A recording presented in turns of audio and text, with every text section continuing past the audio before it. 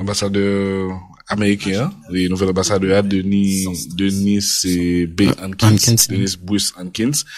Bon, lui-même, il a assuré le conseil présidentiel là de support et pays li avec le conseil là sur le plan sécuritaire.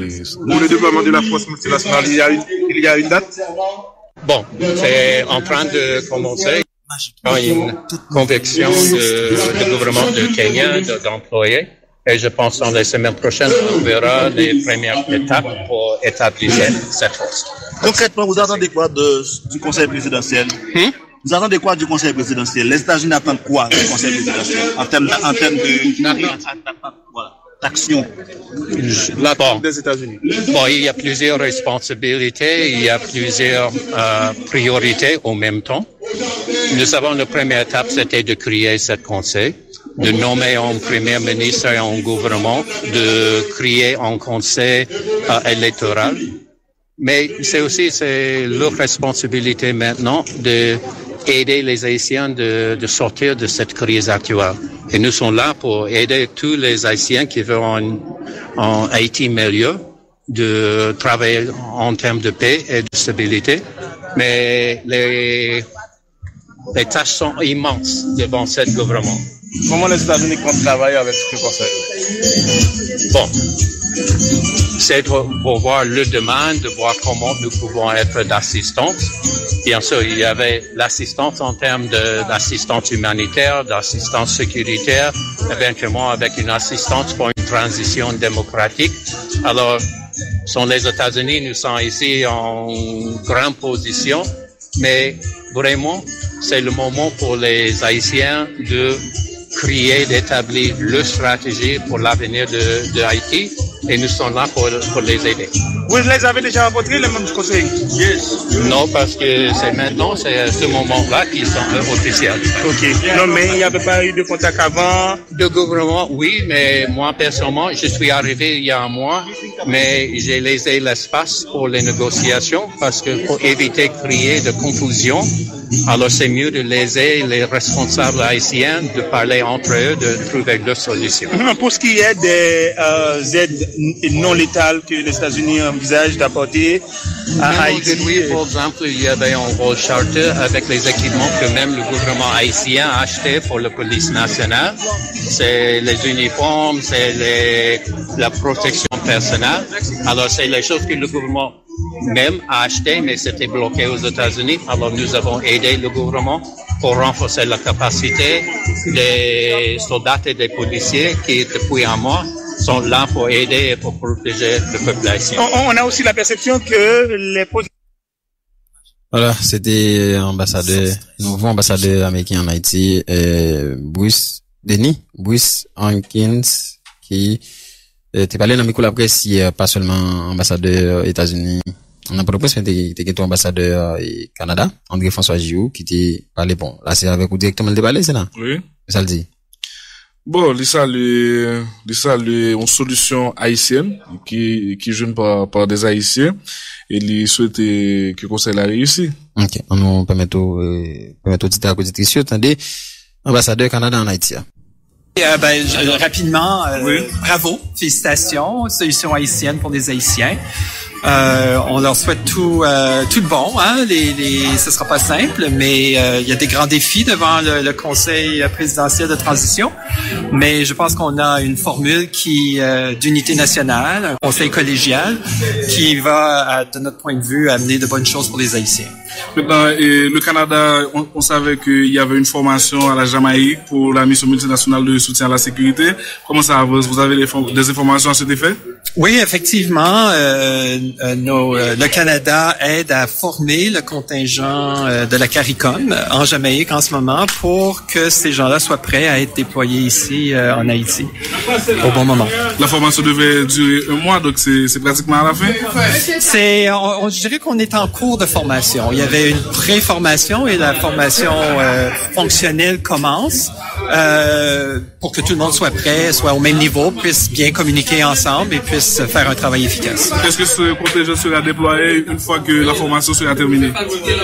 Ben ça, c'est évidemment que c'est pas que la une fois la formation terminée, il y aura d'autres euh, considération, mais je pense que les, le travail de planification, le travail de préparation euh, continue et on a bon espoir de voir euh, la force euh, déployée bientôt. Merci. Voilà, c'était ambassadeur euh, Debli, euh, parti. ti chocho au Canada bay la. Pour... Pou M. Masla. Oh oui, oui, oui. Oui, de, de, de, de demander. Bon, après ça, des derniers mots peut-être matin, c'est... Maria Isabel Salvador, Salvador. représentante et secrétaire général Nations Unies en Haïti. Li te- li se tou chef euh, bureau intégré Nations Unies en Haïti, BINU. Bon, li pale sou konsey la, ki sa ki ta dwe fet, ki sa ki ta dwe priorite, e li pale tou, bakon se tap getan, e hmm. sou, e ed internasyonal avek misyon, avek la polis, e ki pa, ki pa ase, li di bon, fok ta ge, fok, ki ta fet gen de peyi ki te promet ki ya bay, e fon, e ya bay kob, e fok ki yo pase de la parol ozak, an te de manifestasyon. Euh, tant qu'il n'y aura pas de sécurité, ça va être très difficile euh, pour n'importe quel gouvernement d'avancer.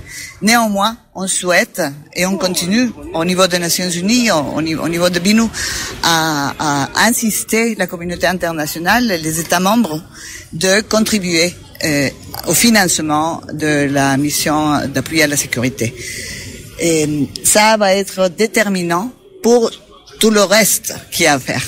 Et donc, euh, une priorité additionnelle, c'est bien sûr le bien-être des gens, euh, le bien-être du peuple haïtien, qui n'arrête pas de souffrir, qui n'a pas une vie, une vraie vie, qui survit, dirais-je, et qui, même dans des circonstances très difficiles, continue à, à essayer d'avancer.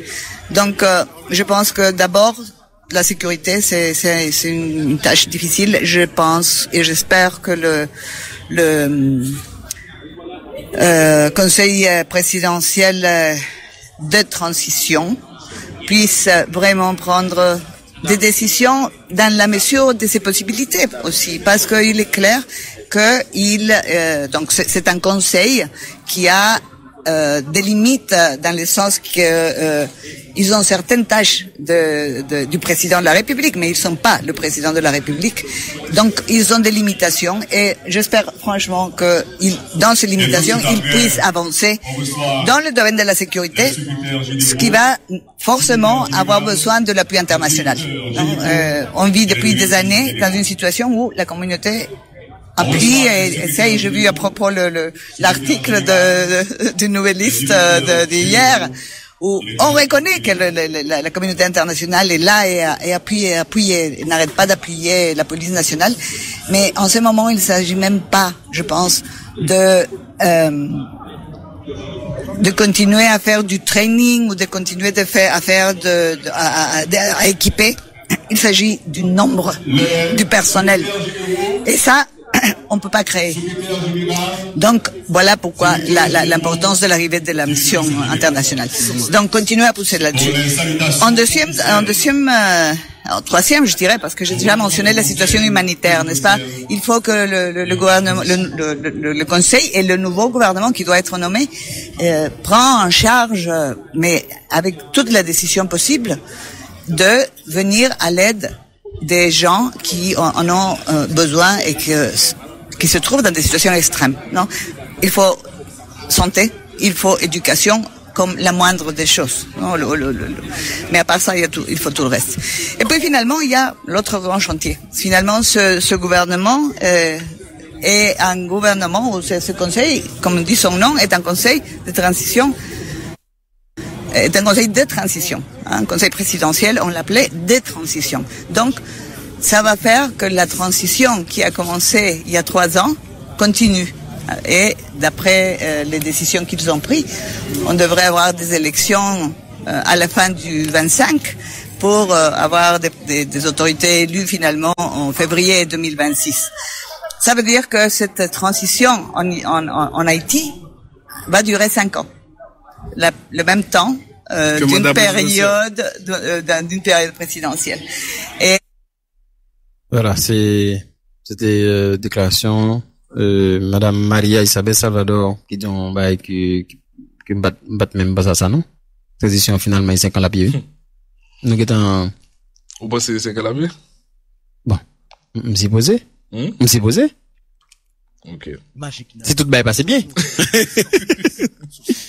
La séquence, si tout bail passe bien. Bon.